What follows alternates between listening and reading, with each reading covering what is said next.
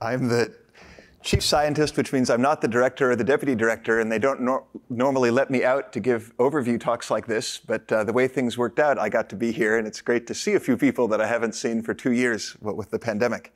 Um, so this will have a tiny bit more science in it, I think, than, than typical overviews. Uh, and I, I, I, hope to stimulate maybe some discussion about where the field is going. And also, uh, maybe what, what QSC is doing that is different from what the other centers are doing. There's certainly a lot in common between the centers that you're hearing about because they were all funded by the same agency at the same time. Um, but there are some things that only QSC is doing, and uh, why we're doing those might be worth explaining a bit. So, very briefly, um, I'm, I am going to give the standard overview for a few slides. Uh, our overarching goal is to try to identify a few problems where it might be hard, say, for industry to solve these problems on its own. Um, but there is some expertise in DOE, uh, aside from just the expertise of running very large projects over the years, uh, that might be relevant. So, particular roadblocks that are relevant to quantum technologies, uh, a large one is materials, and there's a lot of expertise in sort of non traditional materials in DOE, in Oak Ridge and other national laboratories. Um, there's also something I'm going to spend a bit more time on today a lot of computational expertise. And as an example, if you've ever diagonalized a matrix on a large, highly parallel computer, you might well have used LAPACK or something like that, which is software that was developed at the DOE labs, uh, largely at Oak Ridge and LBL. And they developed it not because maybe they had interests in every matrix you might diagonalize, but there were a lot of scientific problems that led to the development of modern numerical software. And that turns out to be useful for all kinds of non scientific problems as well. So the hope is that in partnership with industry, uh, and industry at all scales, I'll talk about our specific partners in a second, but that again, the national labs have a role to play in, uh, in making quantum software, which is probably the biggest revolution since parallelization, and who knows, maybe even bigger. And then finally, um, the one I'm not going to spend a great deal of time on, although I will mention it very briefly just in case there are people who would like to ask more about it, uh, DOE has certain science goals, for example, in high energy physics or in condensed matter physics, that depend on, on uniquely good sensors um, in various energy ranges. And building those is an important enabling part of quantum technologies. Uh, Fermilab is one of our partners. You already heard about Fermilab earlier. Um, and for the same reason that we would like to build better sensors to go after certain kinds of dark matter, for example. So that is a fun science topic that I, I don't think I will say much about today. Um, here's the, a small part of the team, actually. We have a, a large and, and, pretty nationally spread group of people. I have a map in a second, but the main point I would make is that in addition to sort of usual suspect university partners and four national labs, Oak Ridge, Los Alamos, Fermilab, and uh, Pacific Northwest National Lab, which is one of the major software enterprises in DOE. Um, we do have corporate partners ranging from startups up to places like Microsoft and IBM. Um, and I think this variety of partnerships is especially important for some of the computation challenges. And uh, the two people I put in a box here are, are the director, outgoing director, and uh, deputy director and new interim director. Um, so I'll introduce them in a second. Um, they may be people to follow up on some of the more administrative questions you might have. Um, but first, you know, the way we try to keep all of this together is in addition to our partners, the people who are actually participating in research, we have two councils um, that are doing a very good job of keeping us abreast of what's going on in the field, uh, whether in the scientific part of the field or the industry part of the field. And maybe for this audience, the IAC is very relevant. Um, and you can see this is a mix of sort of pure play quantum people like Rigetti with people who are ultimately hoping to be users, maybe of quantum technologies developed elsewhere. Uh, the chair is Bo Beagle from AMD. Um, and then, of course, we, we talk a lot with our friends in the other national quantum centers um, and other quantum things going on, even if they're not through the Department of Energy. So that's who we are. Um, and in particular, I mentioned, uh, well, we have some turnover, but it's a good thing. Our founding director, David Dean, who's a nuclear physicist by training, was actually appointed uh, the deputy director for science of the, the largest DOE nuclear facility, Jefferson Lab. Uh, and our deputy director is going to be stepping in as interim director, Travis Humble, who is a, a quantum chemist with a great deal of interest in quantum information over the years. Um, and he, until this point, before becoming acting or interim director, um, he's actually been in charge of our industrial relationships. So he is someone that, that you might have on your radar. I think I have his email later. Um, for more detailed ways that we could help you or, or you could help us or something mutual. So we are very focused on, while we're doing our own research, um, trying to translate that to eventually impacting industry, what people use out there. Um, so we do have some research that I would characterize as very fundamental, um, but we are doing more device and prototype research than in a typical uh, federal government program, I would say. Um, and we are trying to stay very much in touch with industry on both the hardware and the software side, um, because we don't just want to be, you know, doing our own things that only the Department of Energy cares about. Uh, certainly, many of our science drivers are problems that the Department of Energy cares about, but we hope that in solving some of those, uh, we will do things that everyone cares about. Um, so that's kind of our vision, and, and then I'll get to uh, the examples of how we're unique. So there are a lot of, uh, these are sort of major national facilities that are involved. There's one I'm going to focus on because you might not have thought of it as being useful for a quantum computer. Um, I think it's actually very useful for the first science problems that are going to be solved on quantum computers, uh, which is this one down here. So I'll come to that in a second. But maybe the general picture is, you know, we do have four national labs, and there are unique things in the national labs. In particular, many of the technical challenges that are just not possible in a university and I can say that because I'm primarily a university professor, um, are possible in a national lab. You know, large-scale software development, large-scale technique development, things that take a large group of people a large amount of time, say beyond a graduate student's thesis. Um, you can sometimes do those in companies if you have the right attitudes, maybe. I used to work at Bell Labs. Um, but it's easier maybe sometimes to do them in a national lab. So now I want to get to uh, some things you might not have thought about too much before.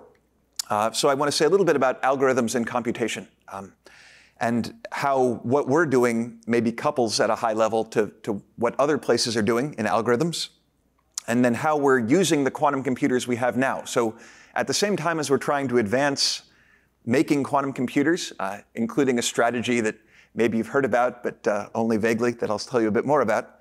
Um, we're also very interested in the quantum computers we have now, the so-called NISQ machines. Um, and while we're running on those machines, you know, we're interested in our science problems, but we're also very interested in just advancing the development of numerical software, compilers, things like that more generally. And then the second, uh, so we are both using materials to build better quantum computers, but I want to explain why uh, a particular kind of experiment on materials is turning out to be a great benchmark for near-term quantum computing and quantum algorithms, um, which is not something that was so much on the radar five or 10 years ago.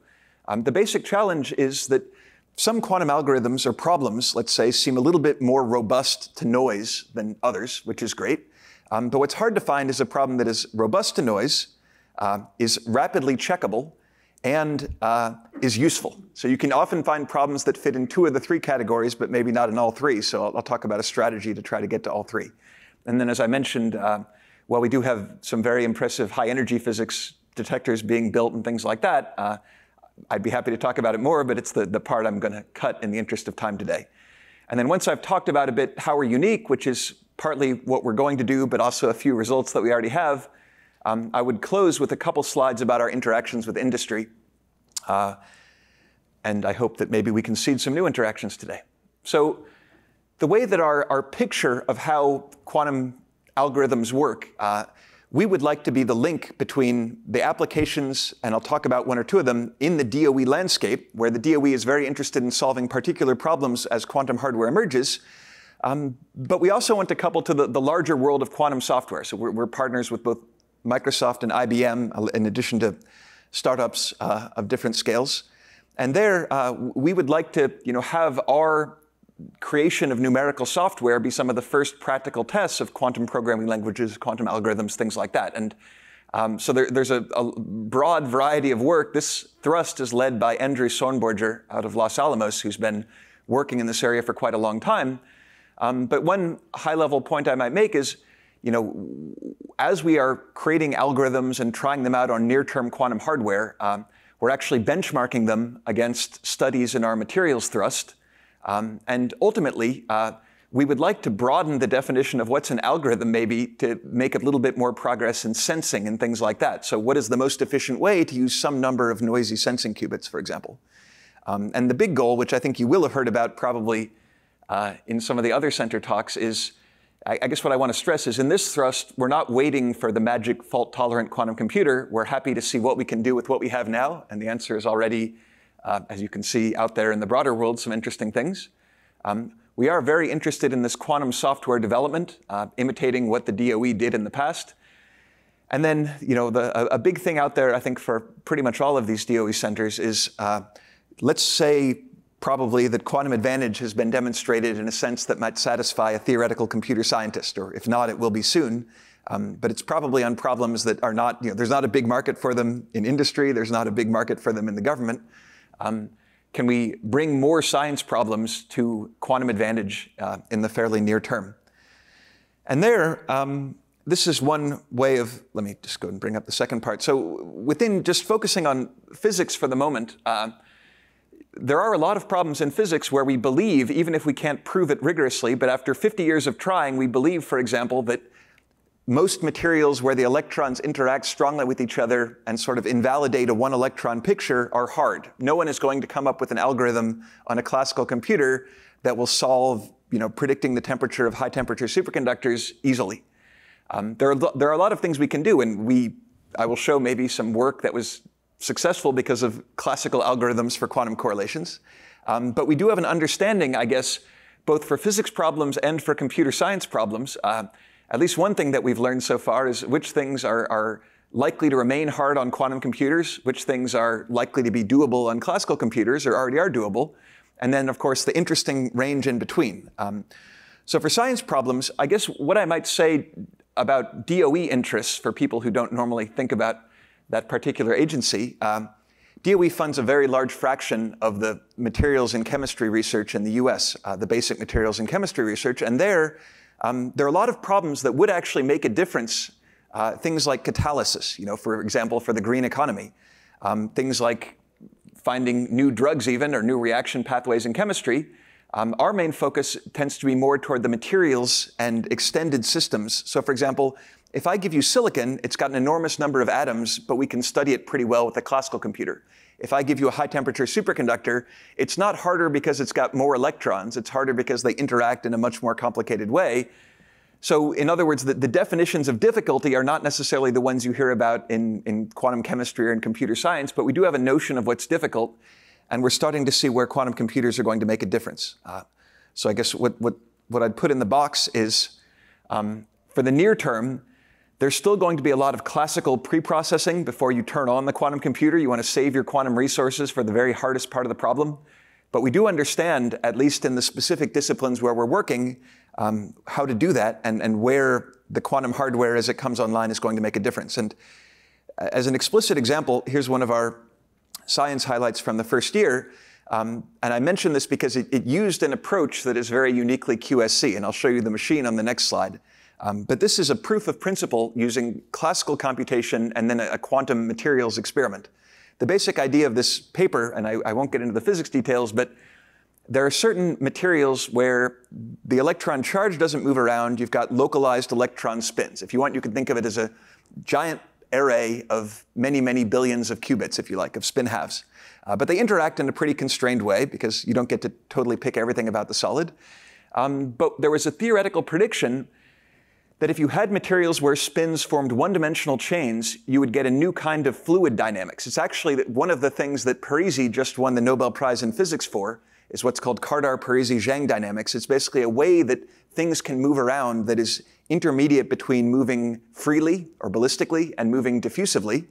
Um, so this super diffusive behavior was actually uh, predicted as a consequence of quantum mechanics in these spin chains seen numerically, which is only possible because it's a quasi one-dimensional problem. We can use the matrix product states or DMRG algorithm, and then it was seen experimentally. And that experimental part, even though it's not what I did, is what I want to kind of focus on here because I think it shows one kind of verifiability um, where DOE has a lot to contribute and QSC has a lot to contribute. And the basic idea of that, uh, so there's the Parisi picture, um, to say what we're doing and why in this particular area. So I'm going to tell you about building new quantum computers in a second, but this you could think of as a test problem that is verifiable and useful for current quantum computers. It's just to figure out these spin problems. So find the ground state, for example, of this a so-called Heisenberg antiferromagnet, which in qubit language is just a bunch of nearest neighbor interacting qubits on a pretty simple lattice. Let's take the Kagome lattice, which if you find the right rock, it will actually have spins made up in this pattern. Um, and that's a problem that we can't solve. People in my field work for many years on trying to find this kind of ground state or dynamics, and we can't solve it, but we can measure it. Um, so the advantage of chemistry and materials problems uh, is that they seem to be a little bit more robust to noise than computer science problems like factoring. That's one reason why at places like IBM and Google, if you look at the papers coming out, there's an increasing number that are motivated by problems in chemistry or materials physics. But there's a disadvantage, which is that if you give me the factors of a giant number, it's pretty easy for me to tell if you're, if you're telling me the truth or not. I just multiply them, which is a fast operation. Um, so we can't do that theoretically for problems like find the dynamics of spins on this lattice, but we can do it experimentally. So uh, if you happen to have a billion dollars, you could buy a machine like this, but most people don't, so there's only one of them right now, which is the Spallation neutron source at Oak Ridge. And it's a way to get an enormous amount of data on the dynamics of qubits you know, dynamics of many billions of qubits, if you want, on this lattice. Um, now, it's not controllable in the way that a, a, true quantum computer is controllable, but it is a very good check um, because it's got four-dimensional data, if you want. It's got dependencies on time and space of spin dynamics. Uh, so we're using, if you like, neutron scattering as a way to check certain special cases. And if you can make a quantum algorithm, you know, in the near term that can solve problems like this and agree on the special cases that we can check, then we're very likely to believe that you've really solved the problem. And, and people in the quantum matter field will be quite happy with you, I can say. Um, so coming back now to another way that I think we're unique. Um, so we've got three different kinds of qubits that are maybe the focus of what's going on in QSC. I think the two that you've already probably been exposed to at this meeting, if not before, are superconducting qubits and trapped ions. Um, the one that you might not have heard before is what's called a topological qubit, and the major industrial driver of that has been Microsoft, and that is a, a very hard kind of qubit to make, where at the moment there is not a single topological qubit, uh, an artificial one out there. Um, I want to explain why it's worth trying, uh, why Microsoft, for example, tried, and then how we came in. So Microsoft tried for about 10 years, uh, has been trying with standard materials, if you like, off-the-shelf semiconductors and, and superconductors. Um, and that's really been two steps forward, one step back, let's say. Um, so we're going to bring some new materials to bear on that because that's where DOE has a lot of expertise, materials that are alternative superconductors and, and semiconductors and so on. But here's why, in, in one slide, um, this is maybe the way to get out of the NISQ era. So the basic idea is that quantum computing is harder than classical computing in a number of ways, but one of them is error correction. In classical computing, error correction, you just need to be right 1% more often than you're wrong. Um, in quantum computing, there's a threshold, and if you have fewer errors than the threshold, then you can correct them. Um, but correcting them takes a lot of qubits, and the threshold is, is fairly stringent. So I hope that we will be able to get with superconducting qubits and trapped ions and others out of the NISQ era and to fault tolerance. Uh, but if you want as a way of hedging your bets, there are a few phenomena in physics, um, there are at least two that we know that are incredibly robust. Um, one of them, the one I have on this slide, was recently used to redefine the volt because it's so robust. And that is, um, if you take a big chunk of material which can have defects, you don't have to go to extremely low temperature, you put on a magnetic field and you measure how the current gets bent by the magnetic field. If you do that in two-dimensional materials, uh, going back to 1980, you can measure a non-zero value of the conductance, which is precise to about one part in a billion. In other words, this is a macroscopic effect, um, but the fact that there are defects and jiggling and so on in the material don't spoil it. It's as robust as you could hope for. That's why it's a good definition of the volt, because you can take your chunk of material and your magnet and do this in some other continent, and you'll get the same number. Um, the other effect that might be like that is even older, the uh, AC Josephson effect, which is related, of course, to how we make superconducting qubits. So can you use that robustness you know, and, and make a quantum computer out of it. And that's the idea of topological quantum computing. And the underpinnings of that won the Nobel Prize in 98 for Bob Laughlin up at Stanford. Um, the hard part is making it all work. But the basic idea is there are, in principle, operations that you could carry out that would have a degree of topological protection related to that. Um, challenge is making it actually work in the lab. Uh, and that's been a, a, goal that really kicked off in earnest, I would say, about 10 years ago. Um, and it's still not done yet. Um, but that's why we're trying, if you like, because we, I think if you want uh, to ask what are approaches that could just reduce by orders of magnitude um, the single qubit error in a scalable way. Um, this is an idea out there that uh, it's hard, but if you're going to ask the government for $115 million, then probably at least something you're doing ought to be hard. And this is one of the, the hard things that we're doing in our big piece. But as an example of how, you know, there's progress along the way that is useful for other things, there's a whole materials innovation and device chain here where we have to make new materials that will be better for this. Um, a lot of that is at Oak Ridge and Los Alamos. Um, and then at places like Purdue, there's a great deal of expertise in nanofabrication and uh, nano device measurement is uh, very strong at Microsoft. So, and Caltech has a lot of theoretical ideas, for example. So we, we are trying to, you know, take this very hard problem, and this is just one example of our kind of science. Um, here's another. Um, our goal is to basically take some of the really hard roadblocks out there that might be tough through a different channel and, uh, and see what we can do over the time scale of the center. And we're not going to build the topological quantum computer in five years, uh, but we hope to demonstrate the first step toward a really good topological qubit, which is what's called quasi-particle fusion. Um, that would certainly warrant another five years at least uh, of trying that direction. So here's another platform that is maybe more connected with the test beds that you heard about from Rick. So we have uh, interest in ion trap platforms as well, we're using the control electronics that come from Fermilab. So Fermilab builds giant particle accelerators and is extremely sophisticated in cryoelectronics. Um, so we're coupling the national labs to try to approach this. Um, another thing that Fermilab is very good at is putting things in low noise, deep undergrad environments. Um, and then finally, you know, the, the, different other aspects of this are using the other national labs. And then with quantum simulation, we would similarly like to translate that ultimately to industry. Um, so this is the one thrust I didn't talk about, but I did want to mention one name, which is Aaron Chou from Fermilab, is a, a noted high-energy physicist. And in the spirit of showing cool things, uh, you probably saw there was a, a, Google paper, and maybe other groups have seen this as well, showing that cosmic rays are actually a significant source of noise that may be a limiting factor. Um, so one solution to that is to go deep underground. Uh, if, if, if, if you can't come up with a better way like topological qubits, you go underground. So to close, I wanted to say a bit uh, more in detail about how we hope to engage with industry, aside from the people who are already our research partners. Um, and that's where uh, the person who has more experience in this area with things like intellectual property and, and the various possible commercial or non-commercial partner relationships is uh, Travis. Um, he's also the director of a, of a, a, he's a journal editor of a journal in quantum computing, so he's pretty uh, technically savvy as well. And um, I've worked with him a bit. He, he is, among his other hats, uh, one of the key people at Oak Ridge in their program to bring quantum computing resources from outside to users. So research partners, uh, by that I mean places that are actively pursuing our science goals with us and maybe contributing people, ideas, resources. Uh, technological transfer, we do want the discoveries that are made in QSC to make it out into the broader community.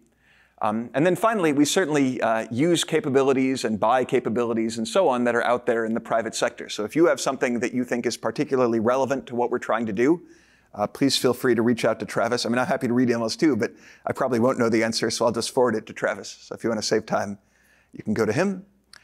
And then uh, the other person I wanted to mention as I wrap up is um, Sasha from Purdue. And, and there, just like the other centers, we were charged with the Department of Energy with broadening the quantum workforce. Uh, you know, Berkeley is a case where you can take classes from Umesh Vazirani on quantum computer science, for example. Um, not everyone has access to people like Umesh, so uh, we would like to make the quantum workforce a broader thing, a more diverse entity as well. Um, and there, we are trying to start up something new. So we've already been running a summer school and doing various other things. But one particular thing I wanted to mention um, we have a lot of postdocs and students involved. That if you track where the money goes, a pretty significant fraction of our overall expenditure is to support junior people. And we would like those junior people to get a slightly broader picture than maybe the standard university educated person would about the quantum uh, enterprise here in the US. So is it feasible, um, and you know, there's a famous example of this actually at, at Bell Labs back in the old days, to have some kind of postdoc exchange program where maybe people who are primarily employed by QSC, you know, we already have people who are interacting with our set of partners. But I think we would be willing to consider if you feel you have the right project and you want to talk to one of our postdocs, um, we might be able to find some kind of postdoc exchange program. That's at least one thing we're trying to discuss actively. So, in other words, we're already running things like a quantum summer school that was extremely well attended because it was online. Um, I don't know if we could possibly get so many people in person. Um, but, but one conversation we're having with our industrial advisory council, um, we are very serious about you know, how can we take the people that we're training and, and have them have rewarding careers, whether it's in universities or national labs or industry. Um, certainly at the moment, many people from my group are moving to industry, so they seem to find it rewarding on uh, different levels. Um, so we'd like to have that happen for QSC too. And then Sasha, just to give a, a, bit of background, she's very involved with the national efforts like QEDC and so on in workforce development. So um, thank you for, for letting me tell you a bit about our team and, uh, and what we're trying to do. And I'm happy to discuss any questions you have.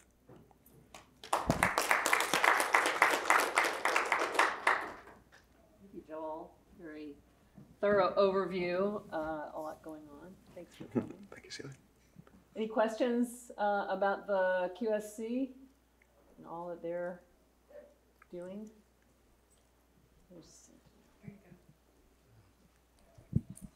First of all, that's a really great talk, very inspiring.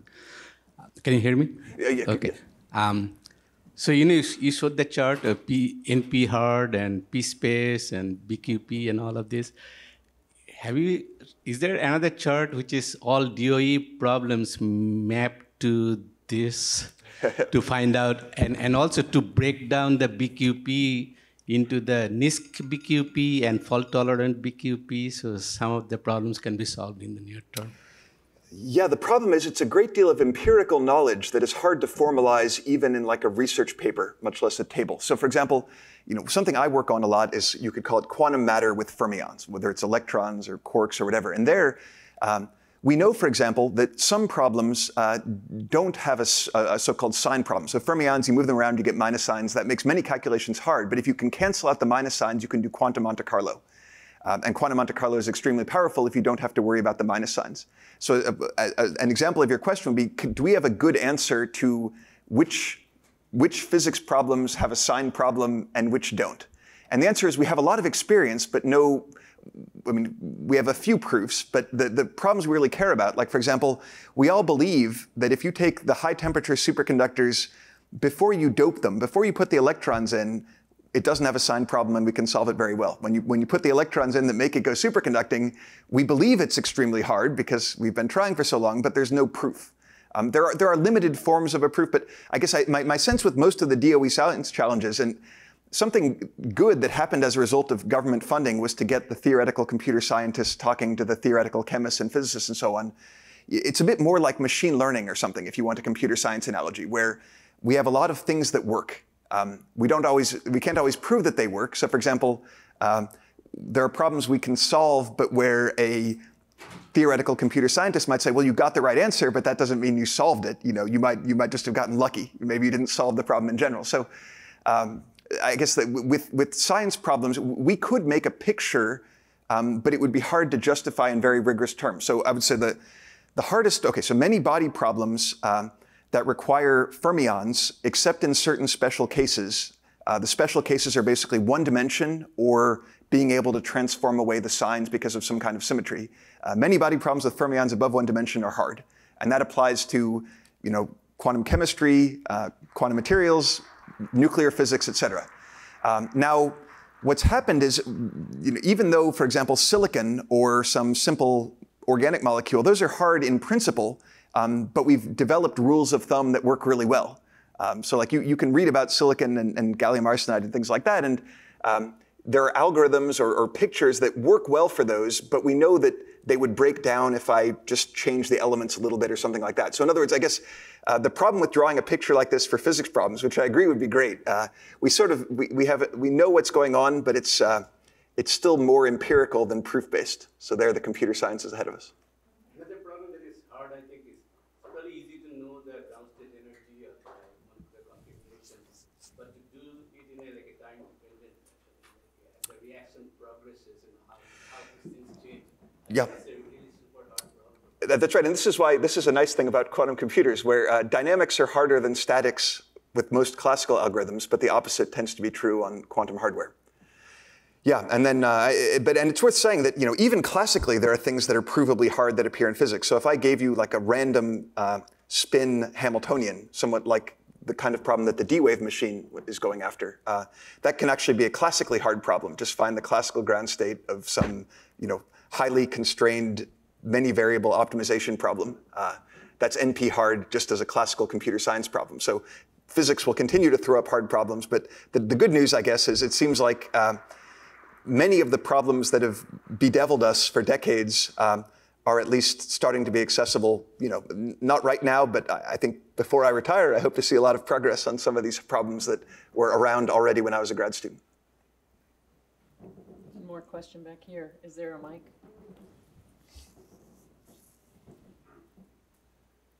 You mentioned the topological quantum computer. So uh, actually, earlier this year, uh, Microsoft decla- declared uh, they didn't observe the uh, Majorana fermion.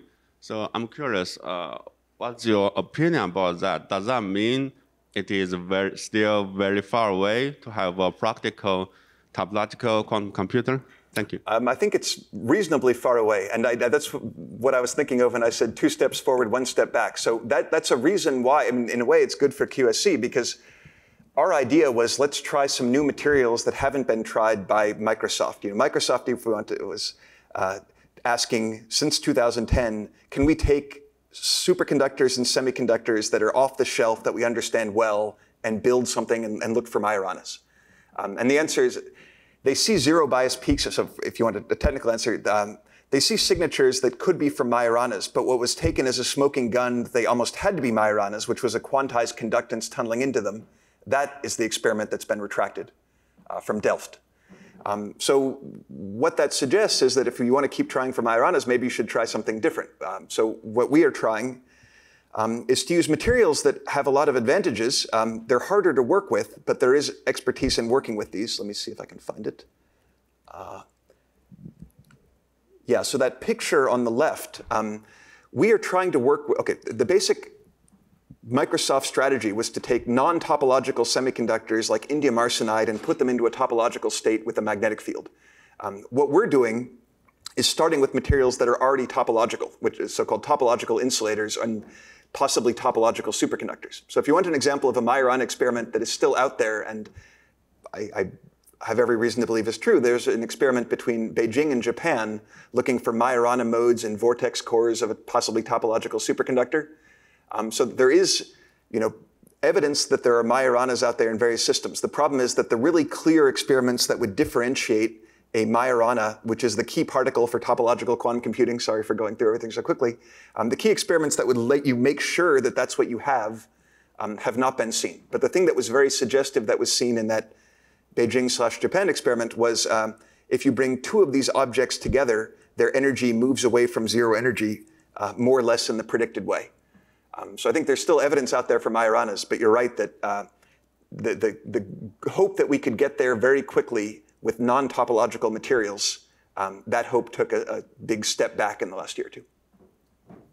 Thank you for a lot of information in your answer. Well, uh, I'm going to wrap up the session. If you have more questions for Joel, please come up and, and let's thank him again. Thank you.